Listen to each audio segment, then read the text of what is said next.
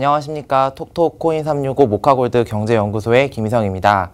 오늘 여러분들께 소개해드릴 코인의 이름은 바로 비체인이라고 하는 코인이 되겠는데요. 사실 코인의 이름이라기보다는 이더리움을 기반으로 한 플랫폼에 대한 안내다라고 생각을 해주시면 좋을 것 같습니다.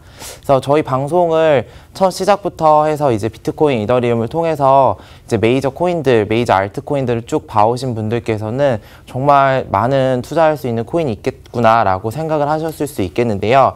비체인이라고 하는 이 코인에 대한 이름은 좀 생소하게 들리실 거란 생각이 듭니다.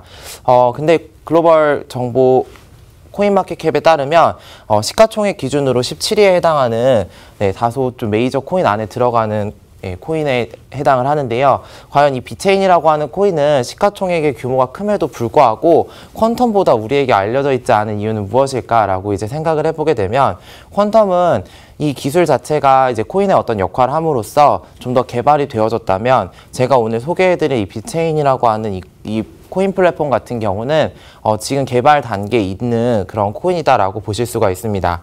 그런데 아직 완전하게 개발이 되어지지 않은 이 코인이 시가총액 더 높다라는 게 좀 의아하실 수 있는데요. 이 퀀텀과 비체인 같은 경우에 공통점을 따져보자면 중국에서 굉장히 많은 인기를 끌고 있는 코인이라고 보시면 좋을 것 같습니다. 그래서 비체인 같은 경우도 중국에서 이제 개발이 되어진 플랫폼의 하나의 형태이고 이러한 플랫폼을 유지 발전시키기 위해서 코인의 형태로서 활용이 되어지고 있다 이렇게 보시면 좋을 것 같습니다. 그래서 현재 시가총액으로 보시면 1억 7천억 원에 해당을 하고 하나 1조 8천만 원에 해당하는 다소 규모가 큰 코인의 하나로서 여러분들께서 인식하시면 좋을 것 같습니다.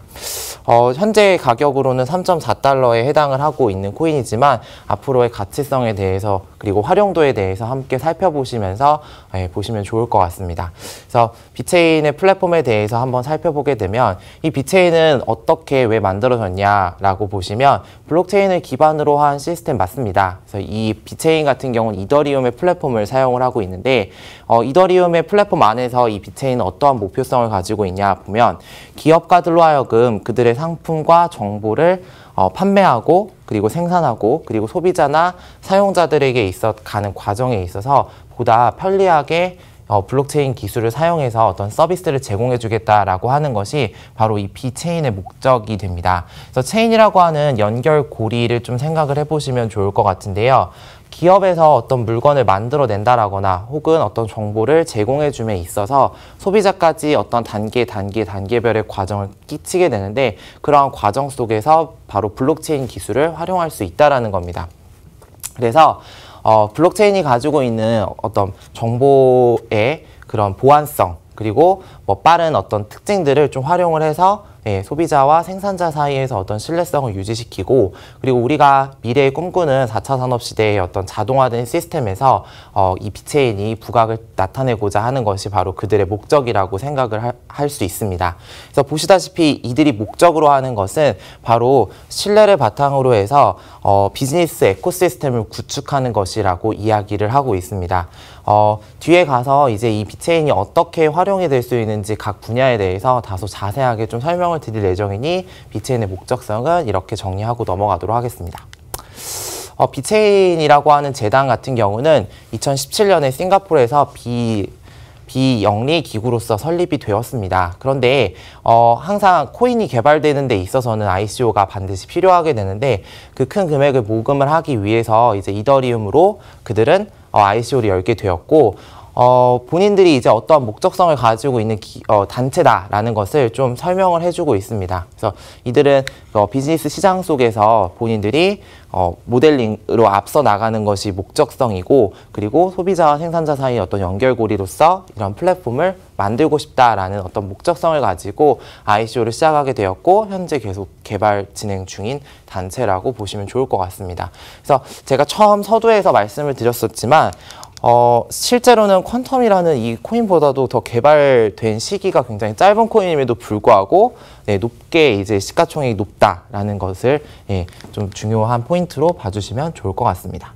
그래서 이러한 비체인을 어떻게 만들어졌느냐 이제 보게 되면 첫 출발점은 2015년에 이 비체인이라는 것에 대해서 어, 청사진을 그리게 됩니다. 청사진을 그리게 되고 어, 2016년 6월에 어, 비체인 버전 0.1이라고 해서 어, 런칭을 하게 되었는데요. 가장 기본적인 smart contract를 구현하는 플랫폼이다라고 보시면 좋을 것 같습니다. 그래서 이더리움이라는 플랫폼에서 정말 smart contract는 굉장히 중요한 요소 중에 하나인데 이제 정말 간단한 것들로부터 출범을 하게 되었고 어, 처음에는 이제 안드로이드 환경 속에서만 예, 활용이 가능하다 어, 아이폰에서도 사용할 수 있도록 예, iOS 앱도 개발을 하고 그리고 계속해서 보시다시피 버전을 업그레이드하면서 어, 올해 있는 2018년에도 어, 비체인을 어떻게 개발시키면 좋겠다 하는 것이 로드맵상에 나와 있는데 어, 다른 코인들과 좀 다른 차이점은 어, 이 플랫폼 같은 경우는 아직 백서가 만들어져 있지 않습니다. 그래서 어떤 다양한 뭐 시스템적으로 뭐 수식이라던가 이런 것들이 좀 정리가 되어 있는 게 있으면 더 많은 정보들을 이렇게 제공을 해드릴 수 있는데 아직까지 현재 지금 개발 진행 중인 코인이기 때문에 예, 좀 그런 것들은 시청자 여러분들께서 감안을 하고 보시면 좋을 것 같습니다.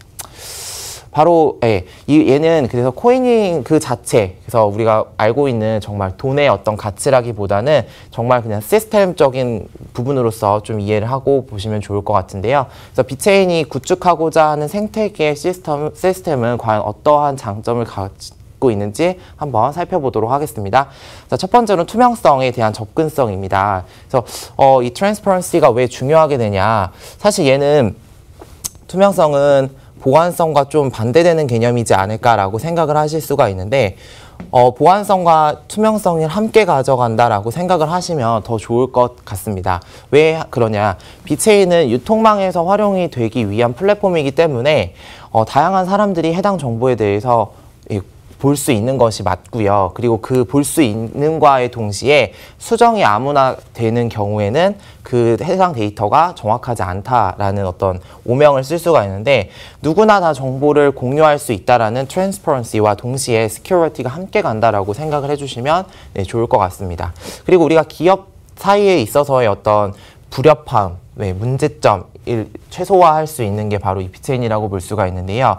어, 뒤에 다양한 분야에서 설명을 드리겠지만 어떤 유통 단계에 있어서 생산자와 소비자 사이에 중간에서 많은 연결다리들을 거치게 되는데 어, 이들끼리 서로 문제점이 발생을 할 수가 있습니다. 그래서 이런 부분에 있어서도 블록체인 기술에 의해서 변화하지 않고 한 번 입력한 입력한 데이터를 네, 완전하게 계속해서 가져간다라는 점에서 어떤 그러한 어떤 조작의 염려를 좀 줄일 수 있다라는 것 그리고 어, 이 사용 이 시스템을 사용하고 있는 사용자들은 모두 이 플랫폼 안에서 어떤 각자 고유의 역할을 할 수 있으며 어, 앞에서 설명드렸던 코인과 마찬가지로 이 시스템을 이용하는 사람들 또한 어떤 각자의 reward 보상을 받게 됩니다. 그래서 어, 무임승차하거나 이런 경우 좀 줄일 수 있고요. 그리고 나머지 두 가지 특징 같은 경우는 알트코인이 기본적으로 가지고 있는 그러한 코인들에 해당을 합니다. 그래서 fair reward를 받는다라거나 혹은 어, 스피드가 빠르게 한다. 예, 이런 것들은 다른 코인 플랫폼들이 다 가지고 있는 것이기 때문에 좀 넘어가서 활용 부분에 대해서 소개해 드리도록 하겠습니다. 먼저 첫 번째 활용도는 리쿠얼, 술, 와인에 대한 내용인데요. 어, 중국에서 이 플랫폼을 만들면서 과연 이 술이라는 것에 왜 초점을 맞췄냐 약간 이런 생각을 하실 수 있는데 어, 술보다 어, 유통이라는 단어에 좀 초점을 맞추셨으면 좋을 것 같습니다. 그래서 우리가 유통되는 데 있어서의 상품의 하나로서 술을 이제 뽑아볼 수가 있는데 리코어 같은 경우에 사진에 보시다시피 우리가 일상생활에서 접하는 어떤 맥주나 소주 이런 것들이 아니라 와인에 네, 해당을 하는데 이런 와인 같은 경우는 어, 언제 어디서 만들어졌는지가 굉장히 중요한 어떤 하나의 요소로서 꼽히게 됩니다. 그래서 이것에 따라서의 어떤 가격 변화도 굉장히 큰데 언제 어디서 만들었는지에 대해서 물론 써 있긴 하지만 이거 스티커니까 그냥 뗐다가 다른 걸로 붙여버리면 모르는 거 아니야? 라는 어떤 의문점을 가질 수도 있는데요. 바로 이 비체인 플랫폼을 활용을 할 경우에는 그러한 문제점에 대해서 어, 충분히 이 비체인의 시스템이 보완을 해준다라고 보시면 좋을 것 같습니다. 왜냐하면 바로 이 비체 이 비체인 시스템이 tracking 추적하는 어떤 시스템과 동시에 authentication에서 보증, 인증을 해주는 어떤 플랫폼의 역할을 해준다라는 건데요. 어, 누구와 생산을 했고 어디서 어떠한 재료를 가지고 생산을 했고 중간에 어떠한 과정을 거쳐서 지금 해당 여기까지 와 있게 됐다라는 것이 어떤 일련의 스텝별로 다 정리가 되기 때문에 이런 어떤 어, 술과 관련된 유통 분야에서 사용을 할 수 있는 게 바로 비체인이라고 볼 수가 있습니다. 자, 그리고 두 번째는 바로 가장 중요한 auto, 자동화 부분인데요. 어, 비체인 같은 경우는 시가총액이 17위에 해당하는 코인으로서 중국에서 가장 영향력이 크다라고 말씀을 드렸는데 바로 어떤 그런 큰 영향력은 바로 이 자동화 시스템과 관련된 파트너십과도 생각을 해볼 수가 있습니다. 그래서 BMW나 그다음 우리나라의 H 자동차 에도 이 비트인이 서로 파트너십이 맺어져 있는데요. 바로 4차 산업 이후에 이제 자동화 시스템이 쭉 이어져 나간다라고 봤을 때 어, 자동차 분야에 있어서 이 비트인이 어떻게 활용을 할 수 있을지에 대해서 어, 설명을 해주고 있습니다.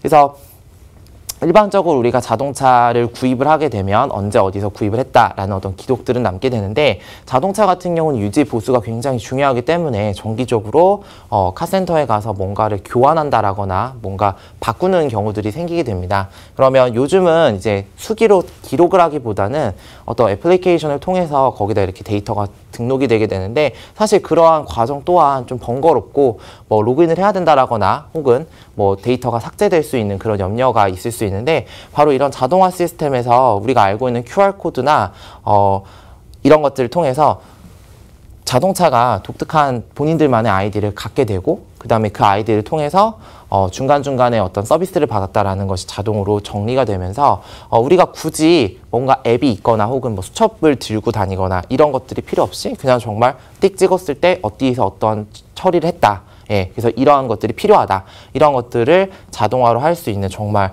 자동차로 하여금 smart contract의 어떤 구현으로서 활용이 될 수 있다라는 포인트를 좀 살펴보시면 좋을 것 같습니다.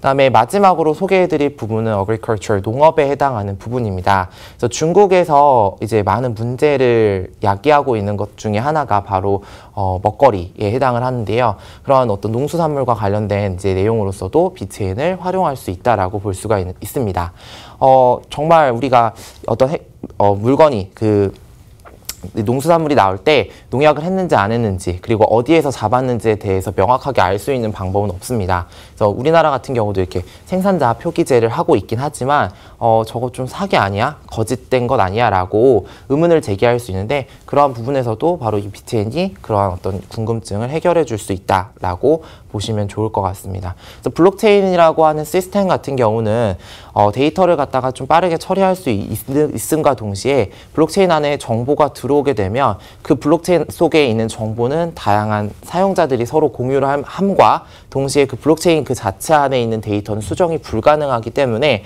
어, 누구나 다 믿고 활용할 수 있는 그런 어떤 플랫폼을 구축하고 있지 않나라는 생각이 듭니다. 그래서 어, 아이오타가 추구하는 것처럼 어, 미래에 자동화 기기의 센서에도 부착이 돼서 비체인도 사용을 할 수 있다는 내용까지 함께 살펴보실 수 있을 것 같습니다. 그래서 마지막으로 비체인과 관련된 어떤 뉴스에 대해 소개를 해드리고 마무리하도록 하겠습니다. 그래서 비체인과 관련돼서 어, 보시다시피 이분이 바로 예, 찰스 호스킨슨이라고 하는 이더리움의 공동 창업자인데요. 어, 비트코인이 이제 비트코인을 이제 개발하는 사람들 혹은 해커들이 모여가지고 회의를 하듯이 이더리움과 관련된 사람들도 모여서 이제 meetup이라고 하는 데서 회의를 하게 됩니다. 그래서 어떻게 우리가 이런 코인을 발전시킬 수 있을까? 자, 그때 이제 이 사람이 와서 연설을 하게 되는데 제가 오늘 소개해드렸던 이 비체인이라고 하는 요 코인 같은 경우도 어, SNS와 어, 블록체인을 기반으로 구매자가 구매한 제품의 신뢰성을 검증할 수 있다라는 그 특징을 가지고 있는 이 코인이 함께 참여를 해서 예, 회의를 할 수 있다라는 어떤 그런 가치성을 부여받고 있습니다. 그래서 최근 이 비트체인이 사용하고 있는 코인의 이름을 바꾸게 되었는데 코인의 이름을 바꾸게 될 경우에 좀 호재로 작용할 수 있는 그런 여지가 있기 때문에 어떤 가격 변화에 있어서도 좀 생각을 해보시면 좋을 것 같고요. 어, 비트체인은 중국에서 만들어졌 고 그리고 현재 굉장히 빠른 속도로 개발되어지고 있는 어, 코인의 플랫폼이기 때문에 좀 관심 있게 보시면 어, 투자하시는 데 좀 도움이 되시지 않을까라는 생각이 듭니다. 오늘 소개해드렸던 코인은 비체인에 되어 있고요. 다음 시간에도 더 좋은 코인으로 찾아뵙도록 하겠습니다. 감사합니다.